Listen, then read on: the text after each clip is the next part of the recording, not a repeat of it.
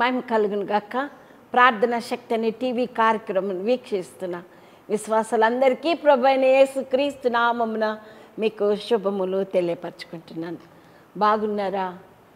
మీరు బాగుండాలని ప్రతినిత్యం మీ కొరకు మేము ప్రార్థన చేస్తున్నాము.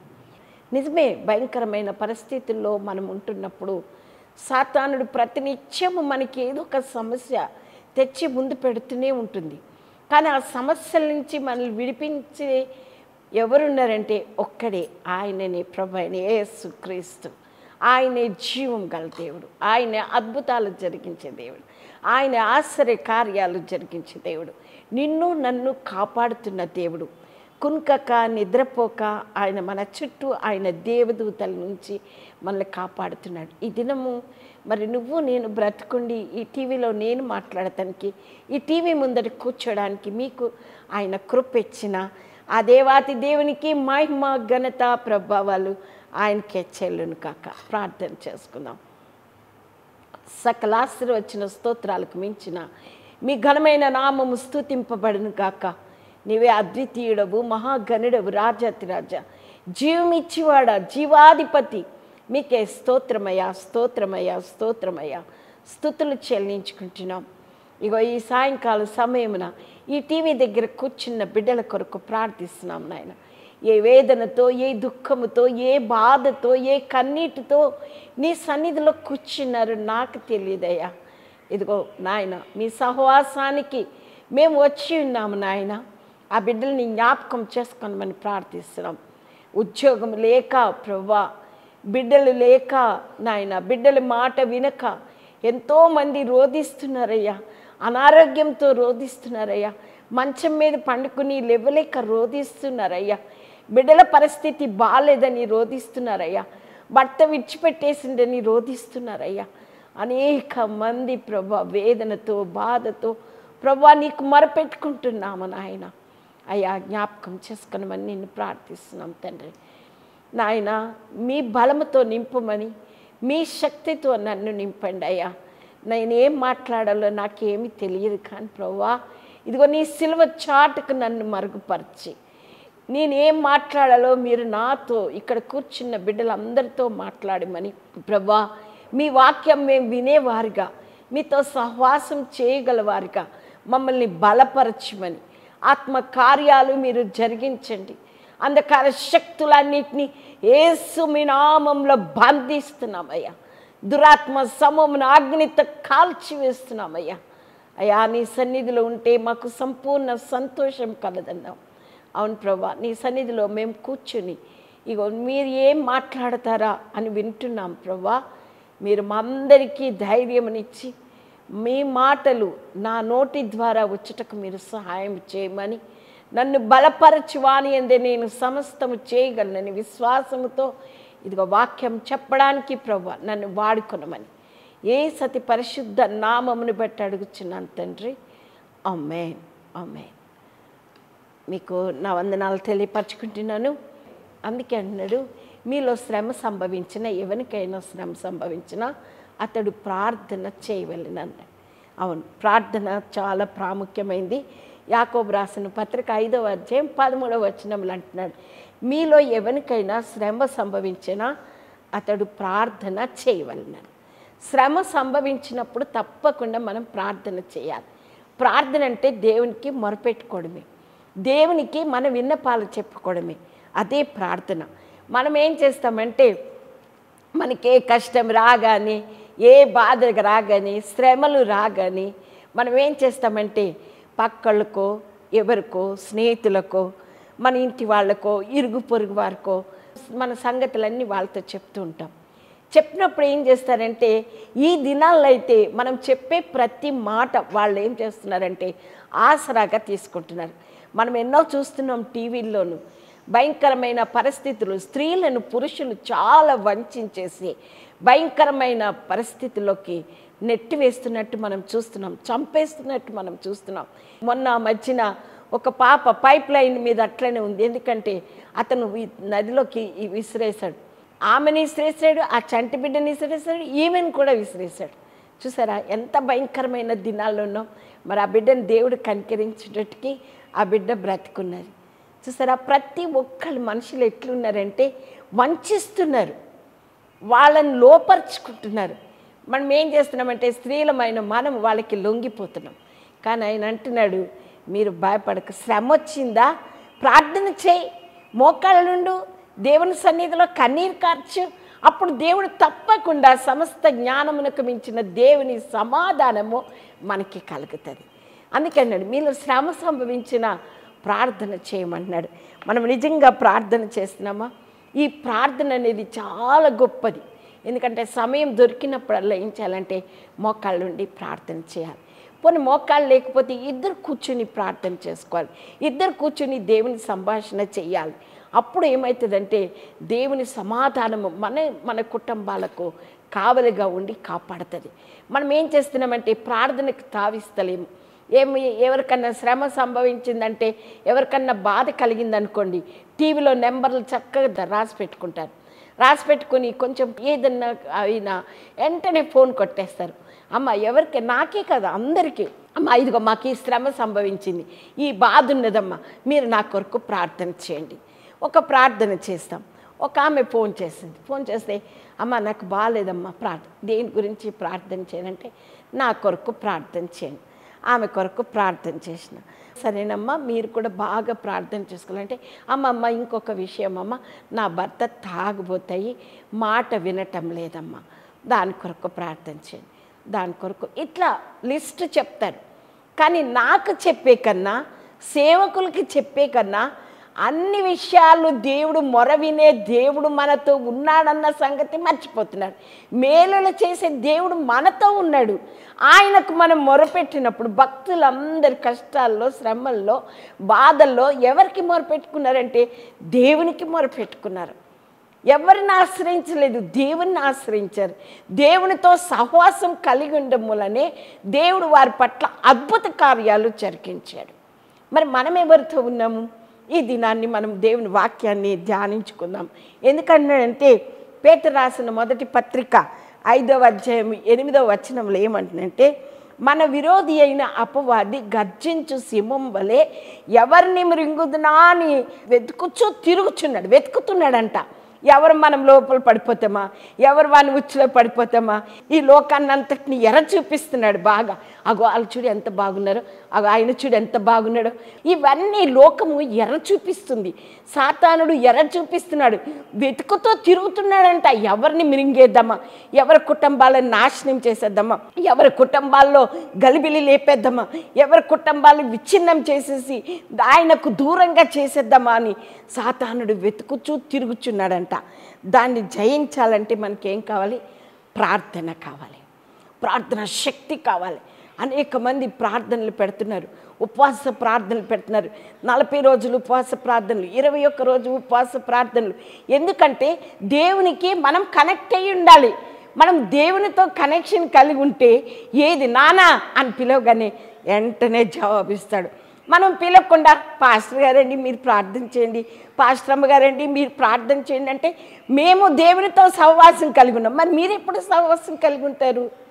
దేవునితో మీరు ఎప్పుడు మాట్లాడతారు? మీరు దేవునితో మాట్లాడాలి.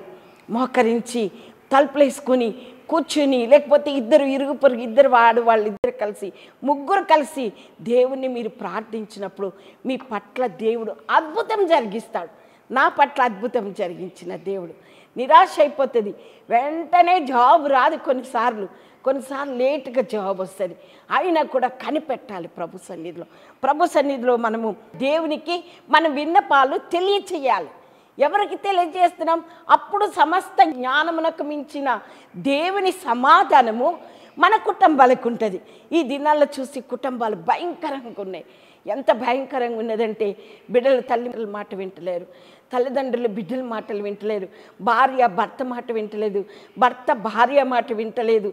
ఎందుకంటే గలిబిలి చేసేస్తున్నది గందరగోళం చేసేస్తున్నది గాలం వేసి అది లాక్కుంటున్నది మనం ఏం చేస్తున్నామంటే ఆ గాలంలో పడిపోతున్నాం. నా ప్రియబిడ్డ ఆయన నీ కొరకు సిల్వలో రక్తం కార్చాడు. మన కొరకు ఆయన ప్రాణం పెట్టాడు. ఆయన విలువైన రక్తాన్ని మనకి దారిపోసాడు ఎందుకో తెలుసా? విలువ పెట్టి మనల్ని కొనుక్కున్నాడు ఆయన. వట్టిగా కొనుక్కోలే. ఆ సిల్వలో మధ్యాకాశంలో వేలాడి ప్రాణం పోగొట్టుకొని. ఎందుకో తెలుసా? నిన్ను నన్ను కాపాడాలని. నిన్ను నన్ను ఆయన దగ్గరికి చేర్చాలని.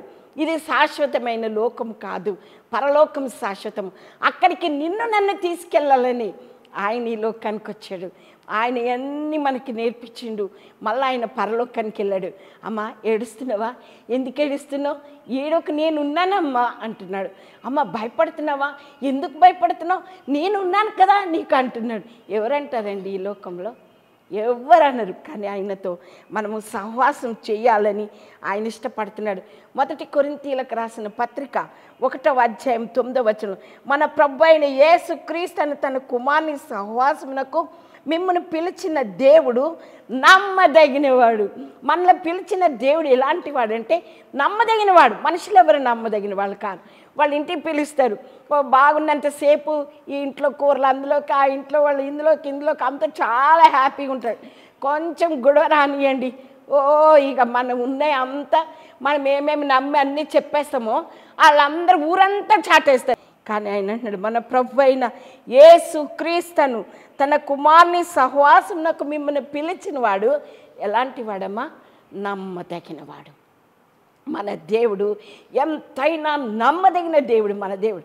అలాంటి దేవుడు. అందుకే అన్నాడు మొదటి యెహోను పత్రిక ఒకటో అధ్యాయం మూడో వచనములు అన్నాడు మీతో కూడా మీకు సహవాసము కలిగినట్లు మేము చూచిన దాన్ని వినిన దాన్ని మీకును తెలియజేయుచున్నాము. మన సహవాసం అయితే తండ్రితో కూడాను ఆయన కుమారుడైన యేసు క్రీస్తుతో కూడాను ఉన్నది. హాలెలుయ. హాలెలుయ. మన సహవాసం ఎవరితో ఉందండి దేవునితో. నా ప్రిబిడ్డ నువ్వెవరితో సహవాసం చేస్తున్నావు? ఆయన ఈ దినాన్ని మనల్ని అడుగుతున్నాడు. మన సహవాసం ఎవరితో ఉన్నది? అందుకే మీక గ్రంథము ఏడవ అధ్యాయము ఐదవ వచనములో చూస్తే మనము స్నేహితుని అందు నమ్మిక ఉంచొద్దు ముఖ్య స్నేహితుని నమ్ముకొనవద్దు. నీ కౌగిట్లో పండుకున్న దాని ఎదుట నీ పెదవులు ద్వారమునకు కాపెట్టుము. స్నేహితుని అందు నమ్మొద్దన్నాడు స్నేహితుడే కదా మనకు స్నేహం ఇప్పుడంతా సెల్ ఫోన్లు స్నేహం ఎక్కువైపోయింది. సెల్ ఫోన్లు తర్వాత ఇంకేమేమో సెల్ఫీలు ఇవన్నీ దిగిపోతున్నాం. ఎందుకంటే సెల్ ఫోన్ లేకపోతే మనకు పిచ్చెక్కిపోతున్నది. ఎవరి చేతిలో చూడండి సెల్ ఫోనే. దాంతో ఎక్కువ సహవాసం చేస్తున్నాం. దేవునితో సహవాసం చేయడం మానేసాం ప్రార్థనకి వెళ్ళడం మానేసాం బైబిల్ తీసుకెళ్ళడం మానేసాము దేవుని గుడికి వెళ్ళినప్పుడు ఏం చేస్తున్నారంటే సెల్ ఫోన్ పట్టుకొస్తున్నారు. ఆ సెల్ ఫోన్లోనే బైబిల్ చూసుకుంటున్నారు. ఆ సెల్ ఫోన్లోనే పాటలు చూసుకుంటున్నారు. నా ప్రిబిడ ఎంతో కష్టపడి ఈ బైబిల్ మన చేతిలోకి వచ్చింది. వట్టిగా రాలేదమ్మా. ఎంతో కష్టమైన పరిస్థితుల్లో బైబిల్ వచ్చింది. ఆయన వాక్యమే మనకి జీవం. ఆయన వాక్యమే మనల్ని బ్రతికిస్తుంది. ఆయన వాక్యమే మనకు ఆధారం. ఆయననే ఆయన నోటి మాటలను బట్టి మనము బలపడుతున్నాం. ఎవరి మాటలు మాట్లాడినా బలపడు. ఇంకేమంటున్నాడంటే ఇర్మియా గ్రంథం పన్నెండవ అధ్యాయం ఆరో వచనం అన్నారు ఈ దినాల్లో స్నేహితులు ఎలా ఉన్నారంటే బైబిలే చెప్తుంది నీ సహోదరుల సైతము నీ తండ్రి ఇంటి వారి సైతము నీకు ద్రోహం చేయుచున్నారు. నీ వెంబడి గేలు చేయుదురు. వారు నీతో దయగా మాట్లాడుచున్నను నువ్వు వారిని నమ్మకూడదు అన్నాడు కదా. మనం చూస్తున్నాం ల్యాండ్ల కోసం కొట్లాటలు భయంకరంగా సొంత అన్ననే తమ్ముడు చంపేస్తున్నాడు. సొంత తమ్ముడే అన్నని చంపేస్తున్నాడు. సొంత తండ్రినే కొడుకులు చంపేస్తున్నారు. ఎంత భయంకరమైన పరిస్థితులు. ఎందుకు? ఆస్తుల కోసం. పగలు ద్వేషాలు అసూయలు. కానీ బైబిల్ చెప్తుంది స్నేహితుని నమ్మొద్దు. ముక్క స్నేహితుని నమ్మొద్దని చెప్తున్నాడు. మీకు ఆ గ్రంథం ఏడవ అధ్యాయం రెండవ వచనంలో అంటున్నాడు ప్రతి మనుషుడు కిరాతుడై తన సహోదరుని కొరకు వలలు వగ్గును. రెండు చేతులతోనూ కీడు చేయి పూనుకొందురు. ప్రతి మనుషుడు నిజమే కదా? ఎంత భయంకరమైన దినాల్లో మనం ఉన్నాం కదా? మనుషుడు ఏ మనుషుడన్నా నమ్మదగినోడండి? చెప్పండి మనతో నమ్మకంగా మాట్లాడతారు. కానీ నిజంగా నమ్మదగినోడా? నిజంగా సహాయం చేసేటోళ్ళ? కాదు. కానీ బైబిలే చెప్తుంది ఎవరిని నమ్మద్దు. రెండు చేతులతో కీడు చేస్తారట. అధిపతులు బహుమానం కోరుదురు న్యాయాధిపతులు లంచం పుచ్చుకొందురు గొప్పవారు తమ మోసపు కోరికను తెలియచేదురు. చూసారా? మనం చూస్తున్నాం ఎంత భయంకరమైన పరిస్థితిలో నేను చెప్పనవసరం లేదు. పేపర్ చూసినా టీవీ చూసినా భయంకరమైన పరిస్థితుల్లో. పాపము పాపము వ్యభిచారము దొంగతనము మోసము హత్యలు. ఎంత భయంకరమైన పరిస్థితిలో మనం ఉన్నాము. ఈ వాక్యం వింటున్న నా ప్రియబిడ్డ ప్రభు సహవాసానికి రమ్మని ఆయన పిలుస్తున్నాడు. ప్రభుతో సహవాసం చేయాలని ఆయన నిన్ను పిలుస్తున్నాడు. సహవాసం అంటే ఆయనతో కలిసి ఉండడమే ఆయనతో మాట్లాడమే పెద విప్పి ఆయనకు సంగతులు చెప్పుకోవడమే. నాకు ఎవరు స్నేహితులు లేరు నేను ఒక్కదాన్ని. ఏం చేస్తా తెలుసా? దేవుని ఆలయంలోకి వచ్చి కూర్చొని అన్నీ చెప్తాను లిస్ట్ అంతా పెట్టుకుంటాను. పిల్లలు ఇట్లా అందరు ఇట్లా వాళ్ళు ఇట్లా వీళ్ళు ఇట్లా నాన్న. నువ్వు చూస్తున్నావు కదా నాన్న నువ్వు మాట్లాడు నాన్న వాళ్ళతోను. నేను మాట్లాడలేను నాన్న నాకు శక్తి సరిపోదు నాన్న. నేను బలహీనరాలు నాన్న. నాకు బలం లేనటువంటి దాన్ని నాన్న. ప్లీజ్ మీరు సహాయం చేయరా? ప్లీజ్ నాన్న సహాయం చేయండి అని కన్నీరు కారుస్తాను దేవుని సన్నిధిలో. తెల్లవారుజాముని నాలుగు గంటలకు లేచి దేవుని సన్నిధిలో మొరపెట్టుకుంటాను నా బాధలు ఏమైతున్నాయో ఒక లిస్టులో రాసుకొని ఆటలి కొరకు మొరపెడుతూ ఉంటాను. నువ్వు మొరపెడుతున్నావా బిడ్డ? నువ్వు సహవాసం ఉన్నావా ఆయనతోను? ఆయనతో సహవాసం లేకపోతే ఆయన రేపు వస్తున్నాడు. ఎట్లా? మనం ఏం చేయాలంటే కనెక్టెడ్ విత్ గాడ్ దేవునితో కనెక్షన్ అయి ఉండాలి. సహవాసం కలిగి ఉండాలి. అందుకే నమ్మొద్దంటున్నాడు. అందుకే ఇంకెట్లుంటారంట? నీతిమంతులు ఎట్లుంటారంట అంటే వారిలో మంచివారు ముండ్ల చెట్టు వంటి వారు వారిలో యథార్థవంతులు ముండ్ల కంచె కంటేను ముండ్లు ముండ్లుగానే ఉంటారట. మంచోళ్ళు ఎవరైనా ఉంటారనుకోండి ఇప్పుడు. నేనే ఉన్నానుకోండి మీరే ఉన్నారనుకోండి మీరు చాలా మంచోళ్ళు. కానీ పక్క వాళ్ళకి చాలా దుర్మార్గులు వాళ్ళు. మాట అంతా సరిగా ఉండదు వాళ్ళది. అప్పుడు మీరు ఎట్లుంటారు వాళ్ళకి? వాళ్ళు ఏదైనా వచ్చి మీకు చెప్తుంటే లేదమ్మా సమాధానం పడండి అమ్మా ఎందుకమ్మా గొడవ పడుతున్నారు? మీరు గొడవ పడకండి సమాధానంగా ఉండండి అంటే వాళ్ళు ఏమంటారు? బాగా చెప్పొచ్చావులే అమ్మా పెద్ద. నువ్వు పెద్ద నువ్వు నీతి మంత్రాలు అని నీతి మంత్రులు అని మాకు చెప్తున్నావా అంటారు. అందుకే వాళ్ళకి ఎట్లుంటామంట? ముండ్లు ముండ్లు గుచ్చుకున్నట్టు ఉంటుందట. నిజమే. ఎవరైనా నువ్వు తప్పు చేస్తున్నావని చెప్తే ఊరుకుంటారా? నువ్వు పాపం చేస్తున్నావంటే ఊరుకుంటారా? ఊరుకోరే. పాపం చేస్తున్నారని మనకు తెలుసు. భయంకరమైన పరిస్థితుల్లో ఉన్నది. కానీ ప్రభు గొప్పవాడు. పేతుని చంపేయాలని చూసింది కానీ చంపేయలేకపోయింది. యోహాన్ని ఖడ్గంతో చంపించేసింది హేరోదియా. బిడ్డని నాట్యంగా చేసి అలాగున్నారు ఈ లోకంలో. భయంకరమైన పరిస్థితుల్లో మరి మనం చూస్తున్నాం ఉంటున్నాం. అందుకే అంటున్నాడు ఇర్మియా గ్రంథం తొమ్మిదవ అధ్యాయం నాలుగో వచనములు అంటున్నాడు మీలో ప్రతి వాడును తన పొరుగు వాని విషయమై జాగ్రత్తగా ఉండలను.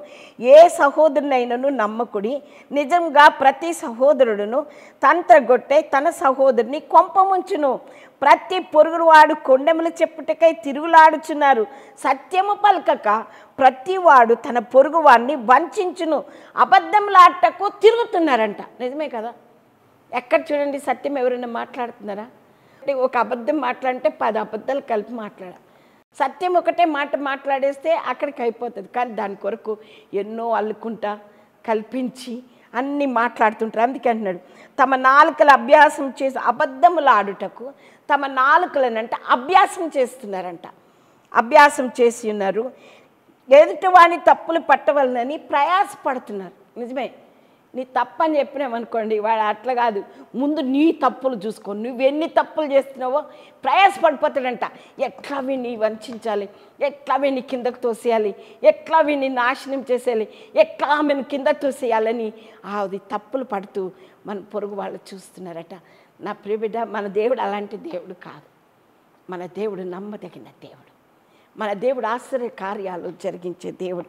అందుకే అన్నాడు మొదటి కొరింతీలకు రాసిన పత్రిక ఏడవ అధ్యాయము ఇరవై మూడు ఇరవై నాలుగు వచనాల్లో చూస్తే మీరు విలువ పెట్టి కొనబడిన వారు గనుక మనుషులకు దాసులు కాకుడి సహోదరులారా ప్రతి మనుషుడు ఏ స్థితిలో పిలువబడినో ఆ స్థితిలోనే దేవునితో సహవాసం కలిగి ఉండండి అన్నాడు మనం ఎవరితో సహవాసం చేస్తాం? ఉదయం నుంచి సాయంకాలం దాకా టీవీ సహవాసము సెల్ ఫోన్ సహవాసము పొరుగోళ్ళు సహవాసము ఫ్రెండ్స్ అని వెళ్ళిపోవడము వీళ్ళు అక్కడికి వెళ్ళిపోవడం వాళ్ళ ఇంటికి వెళ్ళిపోవడం అదే కానీ. కానీ నా ప్రియబిడ్డ అది కాదు. నీకు ఇచ్చాడు భర్తనిచ్చాడు నీకు బిడ్డల్ని ఇచ్చాడు. నువ్వు నీ కుటుంబంతో హ్యాపీగా ఉండాలని ఇచ్చాడు. కష్టం వచ్చిందా? ప్రార్థించి మీరు కుటుంబం కలిసి ఏకంగా కలిసి దేవునితో సహవాసం కలిగి ప్రార్థన చేయండి ప్రార్థన చేస్తే అప్పుడు దేవుడు తప్పకుండా మీ కుటుంబాన్ని ఆశీర్వదిస్తాడు. మీ కుటుంబానికి దీవెనలు ఇస్తాడు దేవుడు. మనం దీవెనలు వద్దు మనకి. గుడికి వెళ్ళము వాళ్ళు వెళ్ళరు ఇతరులను వెళ్ళనియరు అలా ఉంది ఈ రోజుల్లో. బిడ్డలు వెళ్ళనియరు బిడ్డలు ఎందుకంటే స్కూల్కి వెళ్ళిపోవాలండి. పరీక్షలు ఉన్నాయండి. దేవుని సహవాసానికి ఎప్పుడు పంపిస్తావు? దేవునితో సహవా ఈ లోకం శాశ్వతం కాదు కదా. ఆశ చూపి మోసం చేసే ఈ లోకం కదా. ఈ లోకాన్ని విడిచిపెట్టి మనం వెళ్ళిపోవాలి కదా. మన బిడ్డల్ని కూడా ప్రభు దగ్గరికి తీసుకెళ్ళాలి కదా. వట్టి చేతులతో ఆయన దగ్గరికి తీసుకెళ్తావా? ఎట్లా ఆయనతో నువ్వు సహవాసం కలిగి ఉంటేనే కదా. ఇప్పుడు ఫోన్ ఉందనుకోండి మనకు ఫోన్ వస్తుంది ఇట్లా హలో అంటాం. అవతల వ్యక్తి స్వరం చూడగానే మనం ఏం చేస్తాము? గుర్తుపట్టేస్తాం. అరే హలో చెప్పక ఎట్లున్నవక అంటాం. అంటే ఏంటి? మనం ఫోన్లో కానీ బయట కానీ వాళ్ళతో మంచి స్నేహం కలిగి ఉన్నాం సహవాసం కలిగి ఉన్నాం. అప్పుడు వాళ్ళు ఫోన్ మళ్ళీ మనం ఫోన్ చేయగానే వాళ్ళు మనకి చేయగానే రింగ్ ఇవ్వగానే హలో హలో హలో అని మాట్లాడుతుంటాం. మరి దేవునితో ఎప్పుడు మాట్లాడతావు? హలో అని. దేవునికి ఎప్పుడు ప్రార్థిస్తావు? దేవునితో ఎప్పుడు సహవాసం కలిగి ఉంటావు? మరి ప్రభు త్వరగా రాబోతున్నాడు కదా. ఈ లోకం శాశ్వతం కాదని చెప్తున్నారు కదా. ఎక్కడ చూసినా భయంకరమైన వరదలు కదా. ఎక్కడ చూసినా మానభంగలే కదా. ఎక్కడ చూసినా కొట్లాటలే కదా. ఎక్కడ చూసినా ఒకరినొకరు పొడుచుకోవడమే కదా. ఇవన్నీ జరుగుతున్నప్పుడు నువ్వు ఎప్పుడైతే దేవునితో సహవాసం కలిగి ఉంటావో దేవుని దగ్గరికి చేర్చబడతావు. అందుకే అన్నాడు మీరు దేవునితో సహవాసం కలిగి ఉండాలంటున్నాడు. మరి యోబు గ్రంథము ఇరవై రెండవ అధ్యాయము ఇరవై ఒకటో వచనం. ఆయనతో సహవాసం చేసిన ఎళ్ళ నీకు సమాధానము కలుగును. మనుషులతో సహవాసం చేస్తే సమాధానం కలగదు కానీ దేవునితో మనం ఎప్పుడైతే సహవాసం కలిగి ఉంటామో మనకేం కలుగుతుందండి? సమాధానం. దే- నాకు ఎంతో ఏడ్పులు ఉంటాయి ఎన్నో బాధలు ఉంటాయి ఎన్నో శ్రమలు ఉంటాయి నేను ఏం చేస్తానంటే దేవుని సన్నిధికి వస్తాను. ఓ కన్నీరు కారుస్తాను బాగా. దేవునితో మాట్లాడతాను. నానా ప్లీజ్ పలుకు నాన్న నానా సహాయం చేయి నాన్న నానా నాకు ఈ కష్టం ఉంది నాన్న నానా నాకు ఈ బాధ ఉంది నాన్న నాకు ఇది చేయనానని నేను దేవుని దగ్గర కన్నీరు కార్చినప్పుడు ఎంతో నెమ్మది ఉంటుంది నాకైతే. చాలా సంతోషం ఉంటుంది. మీరు కూడా అట్లా ఉండాలని నేను ఇష్టపడుతున్నాను. మీరు కూడా దేవునితో సమాధానం కలిగి ఉండాలని ఇష్టపడుతున్నాను. సహవాసం కలిగి ఉండాలని ఇష్టపడుతున్నాను. ఈ వాక్యం వింటుండే నా ప్రియ బిడ్డలారా మీరు ఎవరితో సహవాసం కలిగి ఉంటున్నారు? సైతాన్తో సహవాసం కలిగితే ఆశ చూపి మోసం చేసి నరకానికి పడేస్తుంది. మనం దేవునితో సహవాసం కలిగి ఉంటే దేవునితో కలిసి మనం ఉంటే మనం ఈ లోకాన్ని విడిచిపెట్టినా పరలోకానికి వెళ్ళిపోతాం హాలెలుయ హాలెలుయ ఆయన వస్తున్నాడు. ఎవరి క్రియలు వారు వెంట వచ్చినని దేవుని వాగ్దానం పలుకుతున్నది. ఎవరికి దేహమందున్నను దేవుని విడిచినను ఆయనకి ఇష్టలమై ఉండాలని ఆయన ఇష్టపడుతున్నాడు. నువ్వు దేహమందు ఎలాగున్నావు? ఏ ఏ రీతిగా ఉన్నావు? ప్రభు నిన్ను ఈ ఈరోజు అడుగుతున్నాడు ఈ సాయంకాల సమయం. అందుకే అంటున్నాడు ఇరవై ఒకటో వచనం. అలాగ నీకు మేలు కలుగును. ఆయన నోటి ఉపదేశము అవలంబించుము ఆయన మాటలను నీ హృదయంలో ఉంచుకోమంటున్నాడు. ఆయన మాటలు ఏమేమైతే చెప్తున్నాడో ఆయన మాటలంట మన హృదయంలో ఉంచుకోవాలి. మనకు తెలుసు పదాజ్ఞలు ఇచ్చాడు. ఆయన ప్రతి చెప్తున్నాడు బిడ్డ నువ్వు ఆ పని చేయకో. నువ్వు ఎట్లుండు ఉండు. బిడ్డ నువ్వు మాదిరిగుండు నువ్వు మంచి జీవితం జీవించు. సాంగత్యం చేయొద్దు. అందుకే అన్నాడు మనం చూస్తున్నాం రెండో కొరింతీలకు రాసిన పత్రిక ఆరవ అధ్యాయము పద్నాలుగు నుంచి పద్దెనిమిది వరకు మనం చూస్తే మీరు అవిశ్వాసులతో జోడుగా ఉండకుడి. పౌలు భక్తుడు అంటున్నాడు నీతికి దుర్నీతికి ఏమి సాంగత్యము? వెలుగునకు చీకటితో ఏమి పొత్తు? క్రీస్తుకు బెలియాలతో ఏమి సంబంధము? అవిశ్వాసితో విశ్వాసికి పాలెక్కడిది? చూసారా? మనం ఏమన్నారు మీరు అవిశ్వాసులతో జోడుగా ఉండకుడి.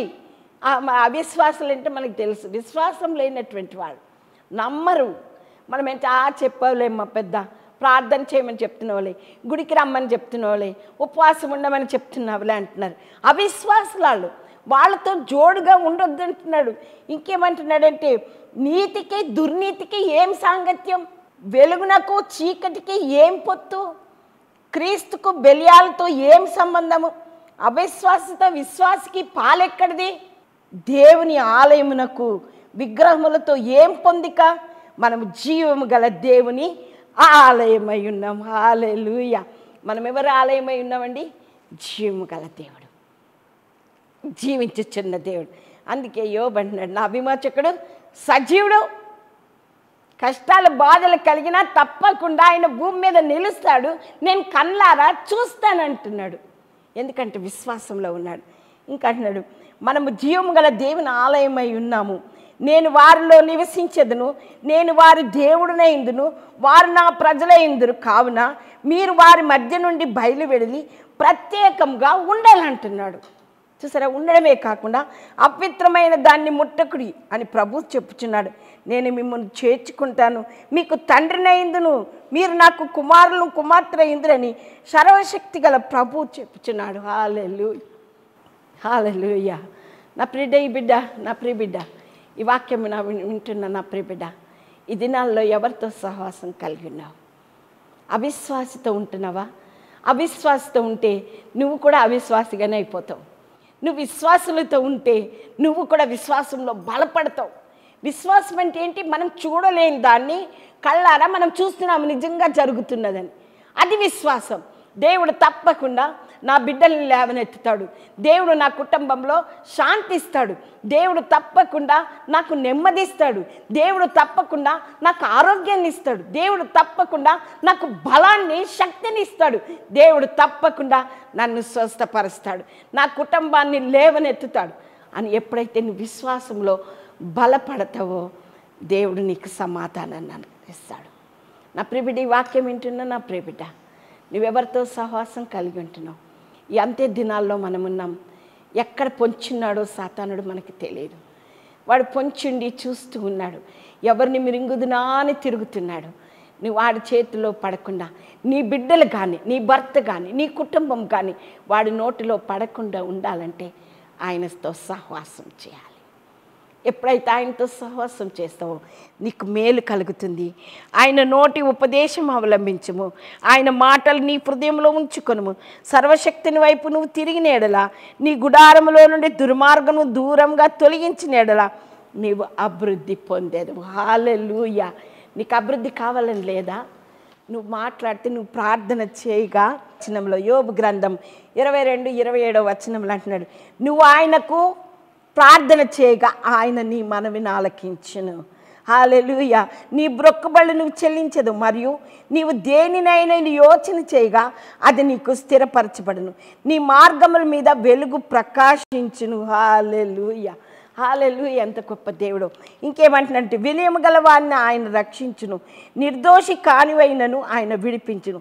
అతడు నీ చేతుల శుద్ధి వలన విడిపింపబడును. Hallelujah hallelujah. ఇరవై ఆరో వచ్చిన అప్పుడు సర్వశక్తిని ఎందు దేవుని ఎందు నువ్వు ఆనందించదవు. హాలెలుయ. ఎప్పుడైతే ఆయనతో నువ్వు సన కనెక్ట్ అయి ఉంటావో ఆయనతో నువ్వు సహవాసం కలిగి ఉంటావో ఆయన చెప్పినట్టు నువ్వు ఎప్పుడు చేస్తావో ఆయన నోటి మాటని ఎప్పుడైతే అవలంబిస్తావో నీలో ఉన్న దుర్మార్గత ఏమేమైతే ఉన్నాయో అవన్నీ నువ్వు ఎప్పుడైతే తీసేసుకుంటావో అప్పుడు సర్వశక్తిమంతుడు నీకు సమాధానం అనుకరిస్తాడు మేలు చేస్తాడు. నువ్వు ప్రార్థన చేయక దేవుడు మర వింటానంటున్నాడు ఈ వాక్యం వింటున్నా నా ప్రియబిడ్డ? ఆయనతో సహవాసం చేయడానికి మనం ప్రయత్నం చేద్దాం. ప్రార్థన చేసుకుందాం. సర్వోన్నతుడ సర్వ సృష్టికర్త మీ ఘనమైన పాదలకు వందనాలు ప్రభా. ఇదిగో నీతో సహవాసం చేయాలని మేము ఇష్టపడుతూ ఉన్నాం నాయన. భయంకరమైన ఈ లోకంలో మేము జీవిస్తున్నప్పుడు సాతానుడు మమ్మల్ని అనేక విధాలుగా వంచిస్తున్నాడయ్యా. దాని నోట్లో చిక్కు కొనకుండా ఉండాలంటే ప్రార్థన అవసరత నాయన. మీలో శ్రమ సంభవించినా ప్రార్థన చేయమన్నావు ప్రభా. మేము కూడా మాకెన్నో శ్రమలు బాధలు ఇబ్బందులు కష్టాలు ఇరుకులు ఎన్నెన్నో ప్రభా లెక్కలేనన్ని ప్రభా వాటన్నిటిని విడిపించుకోవడానికి నీ సన్నిధిలో ఉండి మేము నాయన మేలులు పొందుకోవడానికి మీ కృప చూపమని ఏ సతి పరిశుద్ధ నామమును బట్టి అడుగుచున్నాను తండ్రి. అమ్మే దేవుడు మిమ్మల్ని మీ కుటుంబాలను దీవించి ఆశీర్వదించును కాక.